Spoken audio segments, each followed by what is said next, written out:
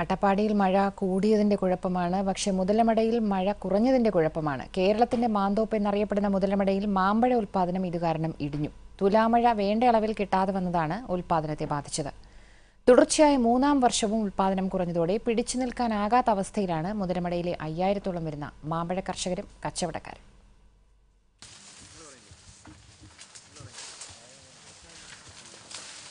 മാമ്പഴ കച്ചവടം നഷ്ടങ്ങൾക്ക് വഴിമാറിയ കഴിഞ്ഞ രണ്ട് സീസണുകൾക്ക് പിന്നാലെ എത്തിയ മൂന്നാമത്തെ സീസണാണ് കർഷകർക്ക് വീണ്ടും തിരിച്ചടികൾ സമ്മാനിച്ചിരിക്കുന്നത്.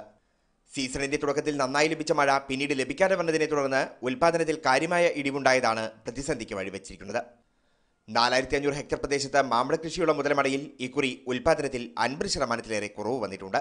ഉൽപാദനത്തെ എന്ന പോലെ മഴയുടെ ലഭ്യതയിലുണ്ടായ കുറവ് ഗുണമേന്മയെയും ബാധിച്ചിട്ടുണ്ട്. വലിപ്പം കുറഞ്ഞതോടെ ദില്ലിയിലെയും അഹമ്മദാബാദിലെയും കയറ്റുമതി വിപണിയുമായി മത്സരിക്കാനാകാതെ പിൻവാങ്ങേണ്ടി വന്നിരിക്കുകയാണ് മുതലമടയിലെ കച്ചവടക്കാർക്ക്. വില ഫസ്റ്റ് ടൈമിൽ കുറച്ച് വിലയുണ്ടായിരുന്നു. ഇപ്പോൾ വിഷു അടുപ്പിച്ച് പറ്റ മാർക്കറ്റ് കുറവായി. മാർക്കറ്റില്ല പിടിച്ചു നിൽക്കാൻ പറ്റില്ല. മാങ്ങ കർഷകരെല്ലാം പറ്റ അടിയിലാവും. സീസൺ ആരംഭിച്ച ജനുവരി ഫെബ്രുവരി മാസങ്ങളിൽ മാമ്പഴത്തിന് മികച്ച വില ലഭിച്ചിരുന്നെങ്കിലും പിന്നീട് ഇങ്ങോട്ട് ആ വില ലഭിക്കാതെ വന്നത് കർഷകരെ കൂടുതൽ ബുദ്ധിമുട്ടിലാക്കിയിട്ടുണ്ട്. കിലോയ്ക്ക് നൂറ്റി അൻപത് രൂപ വരെ വില ലഭിച്ചിരുന്ന അൽഫോൺസ മാമ്പഴത്തിന് നാൽപ്പത് രൂപ മാത്രമാണ് ഇപ്പോൾ വിലയുള്ളത്. ബങ്കനപ്പള്ളിയുടെ വില നൂറ്റൻപതിൽ നിന്നും മുപ്പതായി കുറഞ്ഞു. കേരളത്തിലെ സീസണൊപ്പം തന്നെ തമിഴ്നാട് ഉൾപ്പെടെയുള്ള പ്രദേശങ്ങളിൽ നിന്നും ഇക്കുറി മാമ്പഴം വിപണിയിലേക്ക് എത്തിയതാണ് ഉൽപാദനക്കുറവിനെ മികച്ച വില കൊണ്ട് ചേർക്കാമെന്ന കർഷകരുടെ മോഹങ്ങൾക്കും തിരിച്ചടിയായത്.